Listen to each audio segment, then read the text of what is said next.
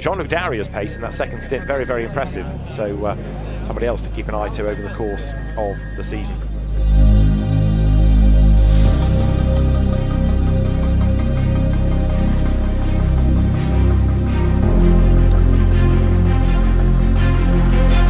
He's somebody that's really come on over the course of his first season in Lamborghini Super Trofeo. He's got much, much faster.